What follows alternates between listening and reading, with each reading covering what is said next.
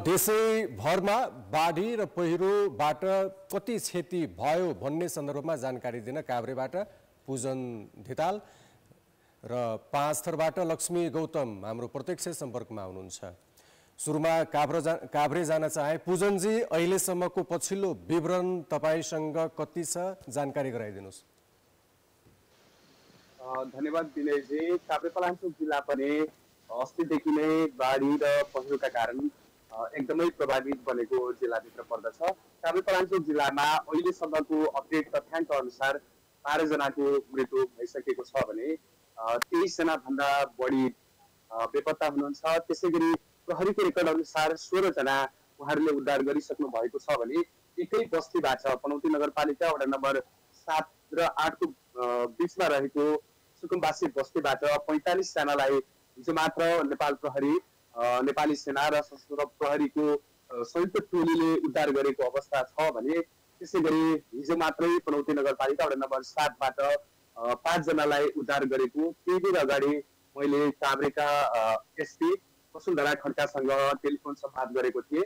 उहाँले पछिल्लो तथ्याङ्कको रूपमा यो जानकारी गराउनु भएको छ भने त्यसै गरी तेमाल गाउँपालिका वडा नम्बर दुईमा रहेको ढुङ्गे पानीमा हिजोदेखि नै एकै परिवारका नौजना हराइरहेको अवस्था हामीले बुझेका छौँ। त्यसै गरी काभ्रेको सबैभन्दा बढी क्षति भएको स्थान रोसी गाउँपालिकाको नार्के बजार। त्यहाँको क्षतिको विवरण भने एकदिन अहिलेसम्म हुन सकेको छैन। त्यसै गरी बिपी राजमार्ग अहिलेसम्म तिन ठाउँमा भाँसिएको प्रत्येक ठाउँमा सयदेखि डेढ सय मिटर दुई सय मिटरसम्म सडक भाँसिएको भन्ने हामीले जानकारी पाएका छौँ। यद्यपि हिजो मात्रै सुरक्षा समिति र जिल्ला जिल्ला समन्वय समितिका प्रमुख लगायतको टिमले उद्धार र राहतका लागि धुलीखेलबाट उडेको हेलिकप्टर नान्ती क्षेत्र लगायतका रोसी गाउँपालिकाका क्षेत्रहरूमा बस्न नसकेर उद्धार उद्धारका लागि पुगेको हेलिकप्टर समेत बस्न नसकेर फर्किएको अवस्था छ विनयजी काभ्रेपलाञ्चोकमा पहिरो गएको ठाउँहरूमा पहिरो पन्छाउने काम कसरी भइराखेको छ? सडक अवरुद्ध भएका छन् कतिपय ठाउँहरूमा। सडक सञ्चालनका लागि के कस्ता प्रयासहरू भइराखेका छन्? काभ्रेपलाञ्चोक जिल्लाको हकमा बिपी राजमार्गको हकमा भन्नुपर्दा विनयजी विशेष गरी बिपी राजमार्ग पहाडी भूभागमा भूभाग हुँदै जाने राजमार्ग भएका कारण जहाँ बिपी राजमार्गहरू भाँसिएका छन् त्यहाँ सडक नै डाइभर्सन गर्नुपर्ने र हिजो मात्रै तिन ठाउँमा लगातार तिन ठाउँमा नै त्यो भएको अवस्थामा चाहिँ तत्कालका लागि ती राजमार्गहरू सुचारू गर्न सकिने अवस्था छैन। हिजो बिहानैदेखि राजमार्ग अवरुद्ध छन् भने त्यहाँ चाहिँ उदयपुर लगायतका जिल्लाहरूबाट आएका सयौँको सङ्ख्यामा रहेका यात्रुहरूलाई त्यहाँको इलाका कार्यालय मङ्गलटारले चाहिँ सुरक्षित अवस्थामा मङ्गलटारको रोहगरमा रहेको जानकारी चाहिँ हामीलाई गराइरहेको अवस्था छ। यद्यपि राजमार्ग हुँदै यात्रामा निस्केका सयौँ यात्रुहरू अहिले पनि बिपी राजमार्ग आसपासको भूगोलमा रहिरहनु भएको जानकारी हामीले पाएका छौँ। यद्यपि राजमार्ग पूर्ण रूपमा सञ्चालन हुन भने अझै केही दिन लाग्ने सङ्केत देखिन्छ विनयजी लक्ष्मीजी तपाईँसँग पाँच थरको पछिल्लो अपडेट के छ? जानकारी गराइदिनुहोस्। लक्ष्मीजी। थर जिल्ला हजुर हजुर विनयजी पाँच थर जिल्ला पनि बाढी र पहिरोबाट प्रभावित भएको छ। धेरै नै प्रभावित भएको छ। यहाँ मानवीय क्षति पनि छ। मानवीय क्षति एकातिर छ भने अर्कातिर भौतिक संरचनाहरूमा ठुलो परिमाणमा क्षति भएको छ। म सबैभन्दा पहिले मानवीय क्षतिको कुरा गर्छु। पाँचथर जिल्लामा पाँचजना नागरिकहरू त्यो पाँचथरको फिदिम नगरपालिकामा मात्रै पाँचजना नागरिकहरूले हिजो बिहान पहिरोमा पुरिएर ज्यान गुमाउनु भयो यसै गरी छजना नागरिकहरू अहिलेसम्म पनि बेपत्ता हुनुहुन्छ। बेपत्ता हुनुभएको मध्ये फालेलुङ गाउँपालिकाको एकजना हुनुहुन्छ एकजना महिला हुनुहुन्छ। त्यसै गरी फिरिम नगरपालिकामा पाँचजना नागरिकहरू बेपत्ता हुनुहुन्छ। यस्तै चाहिँ घाइते भएका अथवा पहिरोमा पुरिएका मध्ये मिक्लाजुङ गाउँपालिकाबाट दुईजना र फिलिम नगरपालिकाबाट एकजनालाई उद्धार गरिएको छ।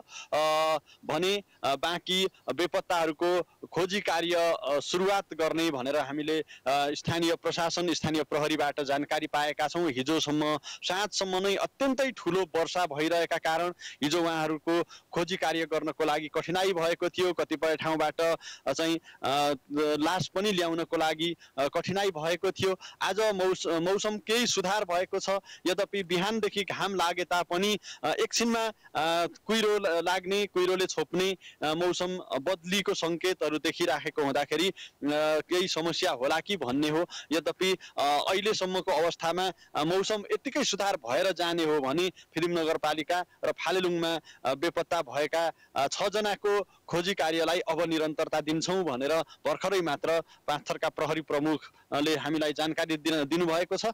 अब म चाहिँ विशेष गरी यो भौतिक संरचनामा भएको क्षतिको विषयमा चर्चा गर्न चाहन्छु।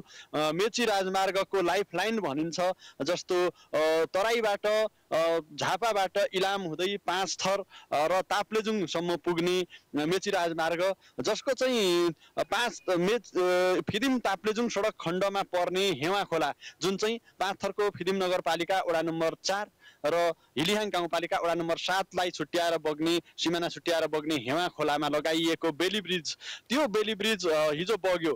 त्योभन्दा अगाडि दुई हजार असी साल असार दुई गतेको बाढीले पनि त्यहाँको पक्की पुल मोटरेबल पक्की पुल बगाएको थियो र त्यो मोटरेबल पुल बगेपछि सङ्घीय सरकारले उन्तिस दिन लगाएर करिब दुई करोड रुपियाँ खर्च गरेर त्यहाँ बेली ब्रिज बनाएको थियो। त्यो बेली ब्रिज हिजो बिहान नौ बजे चाहिँ बाढीले फेरि बगाएर लग्यो।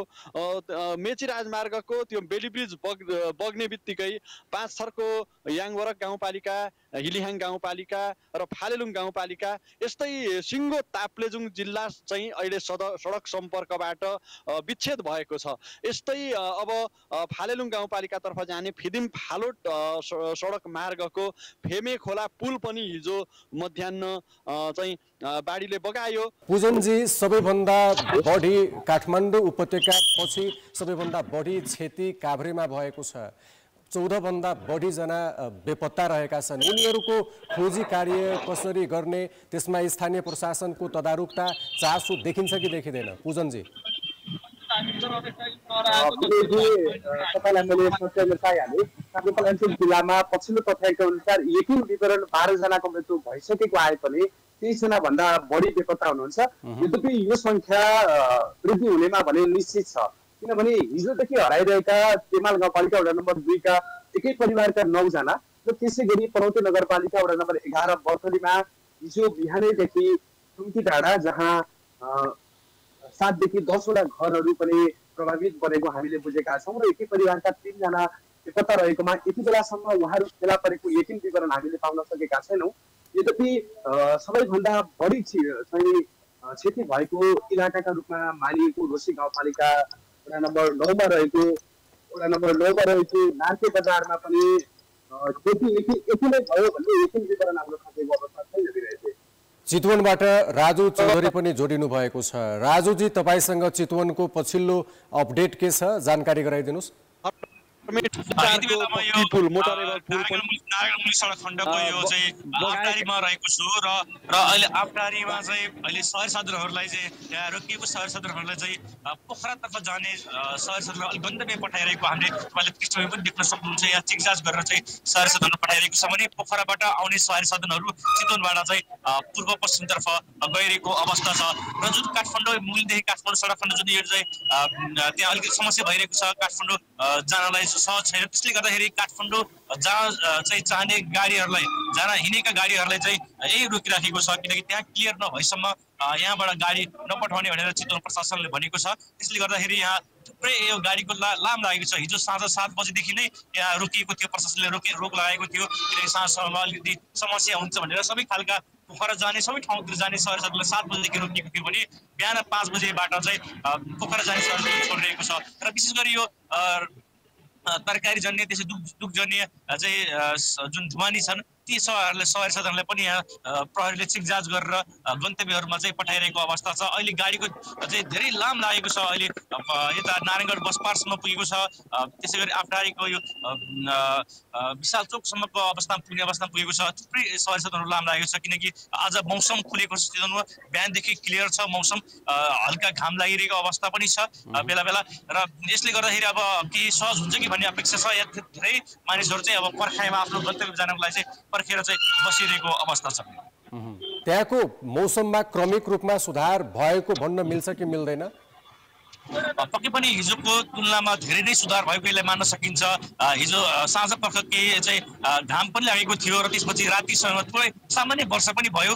तर बिहानदेखि घाम पनि चाहिँ झुकिरहेको थियो अहिले थोरै बादल अलिक लगाइरहेको अवस्था छ अहिलेको अवस्थामा चाहिँ हल्का। तर बेला बेला घाम पनि उदाउँदै गरेको अवस्था छ र बिस्तारै सुधार हुँदै गइरहेको चाहिँ अवस्था देखिन्छ। र यो भयो भने चाहिँ नारायण मुनि सडक खण्ड भने अहिले कुनै समस्या छैन। यहाँबाट कुनै समस्या जानको लागि समस्या छैन। त्यसैले गर्दाखेरि पनि यो अवस्था हेरेर चाहिँ यहाँबाट चेक गरेर मौसम अवस्था हेरेर चाहिँ यहाँ पठाइरहेको अवस्था छ। र अहिले सामान्य चाहिँ हल्का बादल मात्र अहिले लगाइरहेको छ। बेला बेला चाहिँ र घाम चाहिँ पनि देखिरहेको अवस्था चाहिँ छ चितवनमा।